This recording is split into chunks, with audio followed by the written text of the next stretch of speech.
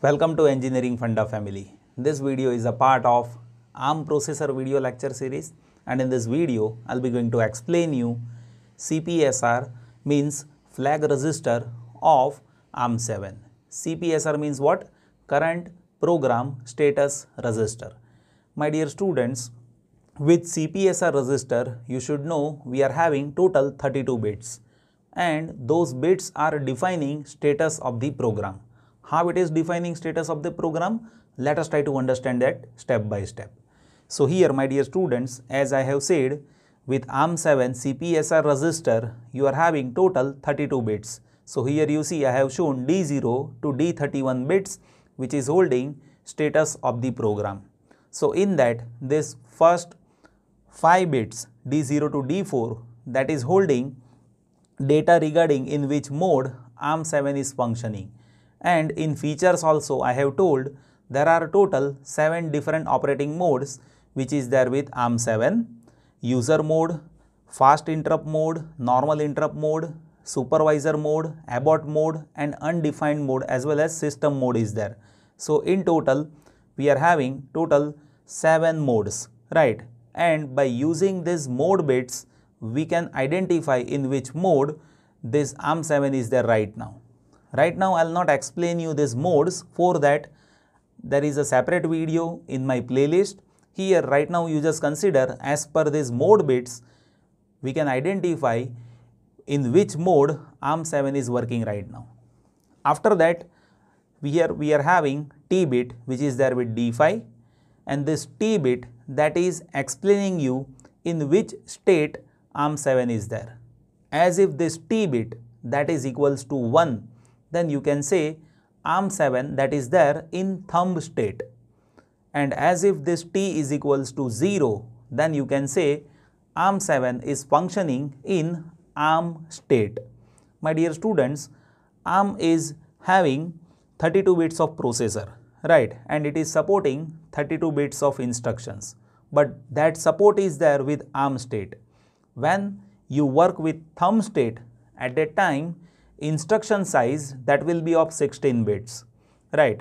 And here my dear students you should know when you work with thumb state at that time as instruction size that is of 16 bits you will be increasing code density. So for lower end application user can enable thumb state in that code density will be more. So you can effectively use memory for programming but for high-end application, in ARM state, we can execute instructions with 32 bits of instructions, right? So in that high-end operation can be performed, but for lower-end applications, ARM7 can be used in thumb state by keeping this T bit is equals to 1. In normal state, this T bit that will be 0, that will be ARM state in which instruction size will be of 32 bits.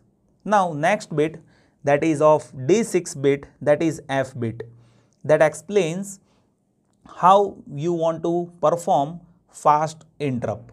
As if you want to mask fast interrupt then you will have to make this bit 1. So this is a bit which we use it to mask fast interrupt. So you see here we have fast interrupt mode right. So as if you want to mask that fast interrupt in that case user can make this bit is equals to 1 which indicates that here we have masked fast interrupts right and as if it is equals to 0 then fast interrupt is unmasked over here right. So on NFIQ pin you will be receiving fast interrupt and we can mask it by using this bit. Here D7 bit that is indicating status of interrupt here to mask interrupt. Here by keeping this i bit that is equals to 1 we can mask normal interrupt. Normal interrupt that we receive at NIRQ pin and here when you receive that NIRQ pin interrupt at that time it will go in normal interrupt mode. But to mask that mode you will have to make this bit is equals to 1 but as if it is equals to 0, we can easily receive normal interrupt on NIRQ pin. Here my dear students, these bits are unused by ARM7 TDMI but when we talk about D27 bit then that explains you overflow flag. If overflow is happening during execution of instruction then this V bit which is there with D28 that will get set to 1 right and that will be 0 in case of no overflow is there and that will happen in signed operation only. By example I will explain you let us try to understand first how these bits are there. So this V bit is equals to 1 in case of overflow if it is 0 then there is no overflow. This D29 bit that explains you status of carry. So in execution of instruction if carry is happening after MSB then this bit will get set to 1 with D29 bit which is carry flag bit. D30 bit that is 0 flag. So as if result is 0 after execution of any instruction this bit will get set to 1 and if result is not 0 then this bit will be 0. D31 bit that explains you whether given result is negative or positive right. So N stands for negative flag here as if result is negative then this bit will be 1 and as if it is equals to 0 after execution of any instruction then you can say result is not negative. Now my dear students let us try to understand how these flags are working. See this flag explains what is the status of execution of instruction right and by this status flag there are many conditional instructions that is there with ARM7. You can say almost all the instructions are having conditional execution. So, you can have better performance of program and for that you should know how these bits are operating. So, for that let us have one example. So, here I will be showing you 8 bits of operation. So, in that let us consider we have 8 bits with signed number.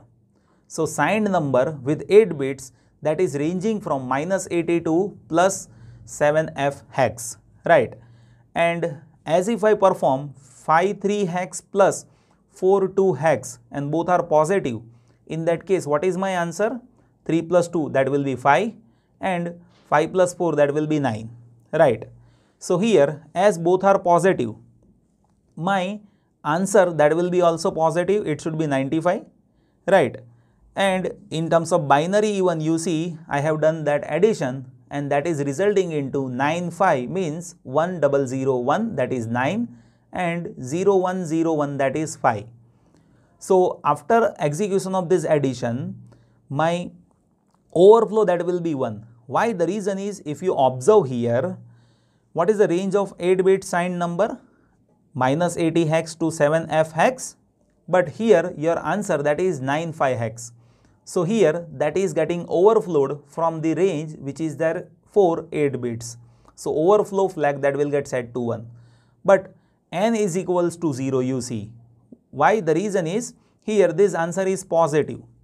But if you observe normal Intel's processor like 8085, 8086 in that that sign that was represented by MSB. So here if you observe MSB is 1 right but MSB does not indicate whether given data is positive or negative. Here negative flag will indicate. So this flag is far better compared to Intel's flag register which was there with 8085, 8086, right? As it will show you correct overflow as well as it will show you whether given data is positive or negative. Let me give you one more example. For example, 8 bits of signed number, if you have addition of 26 plus 33 hex, then you see our answer will be 6 plus 3 9 and 2 plus 3 5. Answer is positive. So, n is equals to 0 and you see here there is no overflow. Why? The reason is 5 9 hex that is there in the range of minus 80 hex to 75 hex. So, there is no overflow.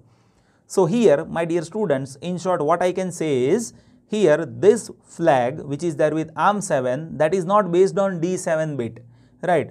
Previously we were been observing D7 bit for negative or positive number. But here practically ARM7 is calculating whether given operation is resulting into positive or negative. So that is how it is better.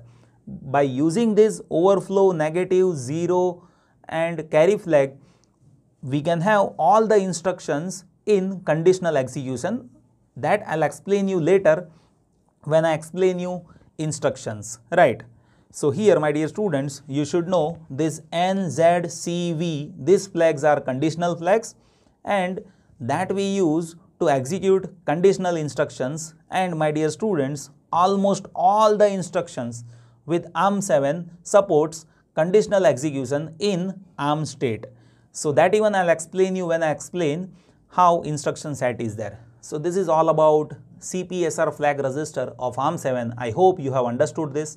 Still, if any query is there, what I want is you just post that in comment box so that we can have further discussion. Thank you so much for watching this video.